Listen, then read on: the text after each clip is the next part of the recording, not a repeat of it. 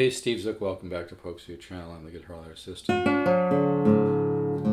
Here I'm having fun with this, uh, you know, flamenco tuning,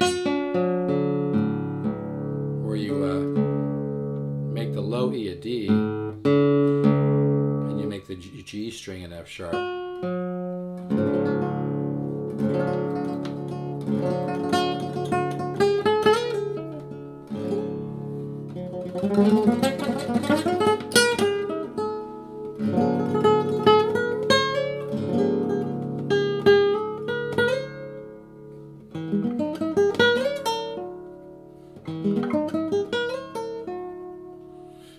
I, this is not so much of a performance, it's just sharing different ideas you can do in this tuning. Um,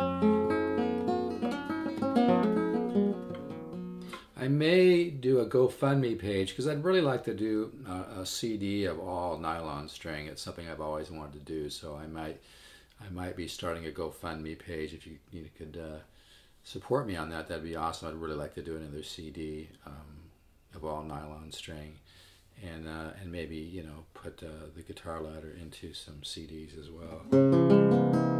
But yeah, let me talk a little bit about about kind of phrase memory and exercises to develop dexterity and technique. This is a if you can make up a melodic exercise that also builds technique, especially right hand technique, because that's an area that's weak with most players. That's a good thing. And I've shown this before, but I'm going to show it again because I think it's really substantial. And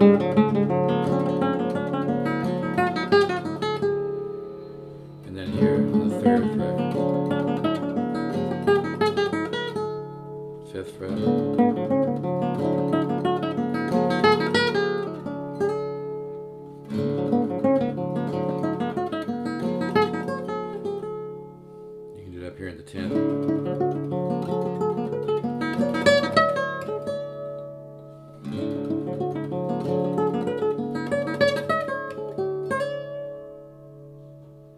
And then uh, you can do that uh, in different areas, you know, kind of repeat the pattern. But then what happens when you work on something enough is you get it kind of burned into your subconscious, and then you can kind of access that at times. And uh,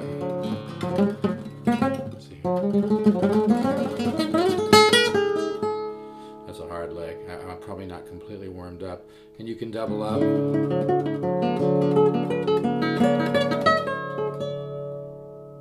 And then I like to kind of you, you know incorporate different uh, like styles from classical composers. Like maybe if you're thinking Bach, you might think something like. Uh,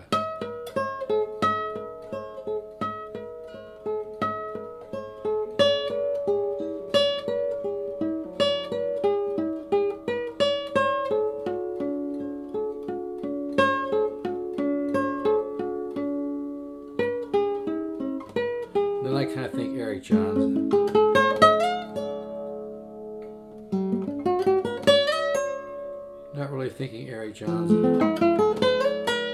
As much as I'm thinking being melodic, not just playing riffs that are all just a scale or all just, you know, a pentatonic color or whatever. That's why it's nice to, to try to be more intervallic. Like when I'm improvising, I'm always looking for.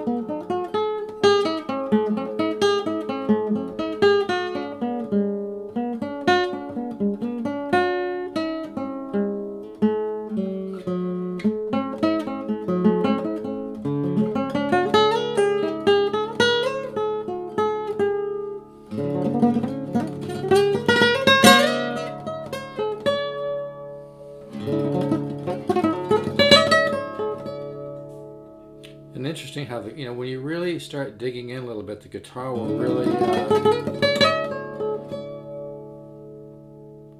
really ring out. Isn't it amazing?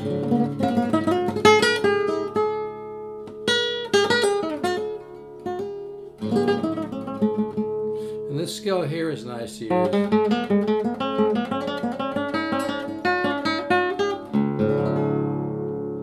We can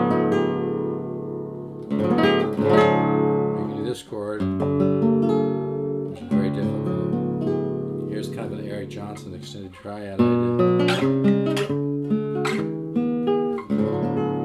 I don't like labeling a lick every time I play it, but I'm sharing that just to help people kind of find somewhere to get a little traction. Um, most of these ideas have been used before, but you know Eric Johnson was one of the first guitar players to, and still is one of the most innovative guitar players who spent the time to learn enough to develop his own harmonic point of view. But I love the way he uses extended triad, so that's why I use him as an example. I don't know of any other guitar players that have used him as much. I mean, since he's done it, other players have jumped on board and done it more.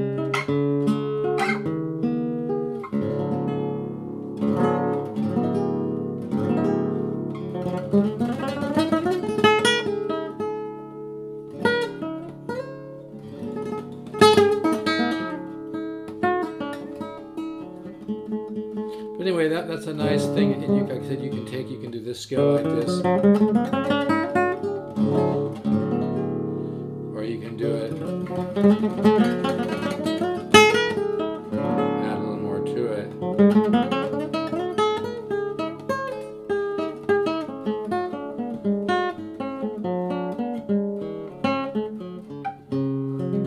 Chords like that.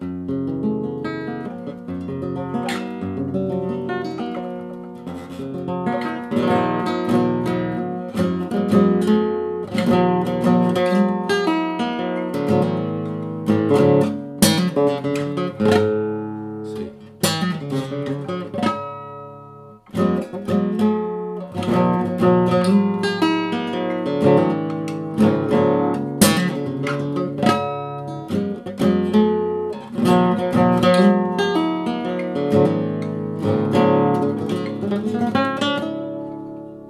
yeah, this is a real fun tuning. It's uh, worth messing around with. Just make the G string an F sharp. Even simple things like this sound nice. Simple patterns. Those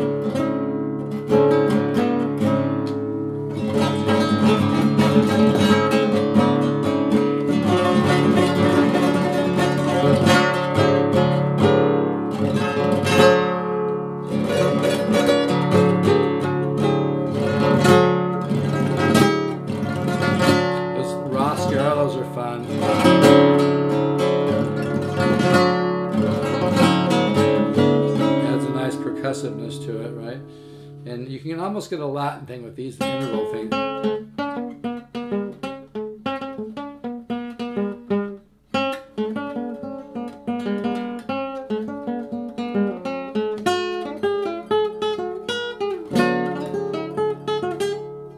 Things like that.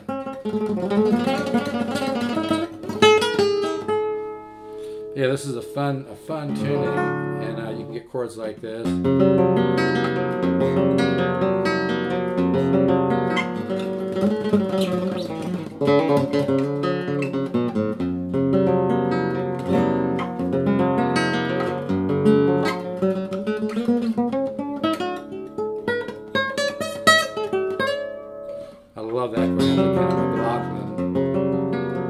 Actually wrote a, a piece called Transformation and sent it to McLaughlin. He liked it. It was it was cool.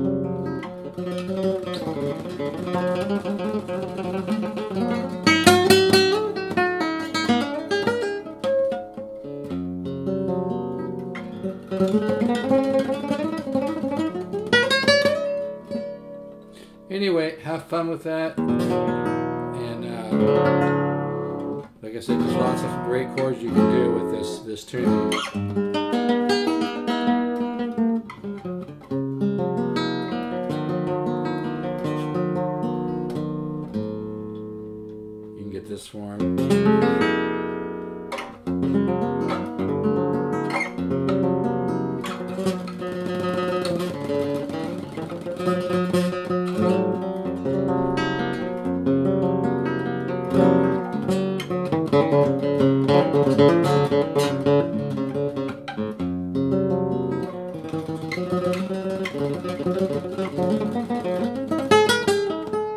Anyway, I'm just messing around, having fun, slopping around. So, uh, anyway, enjoy this. You can also use the flamenco techniques with this tune.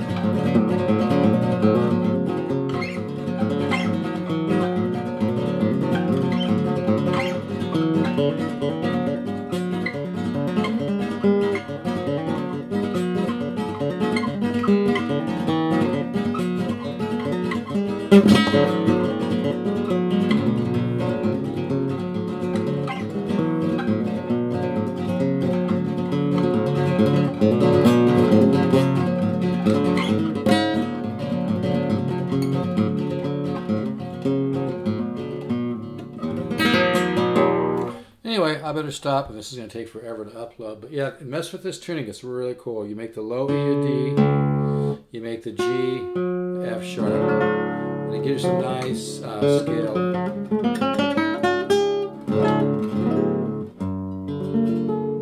And that's a hard chord for me.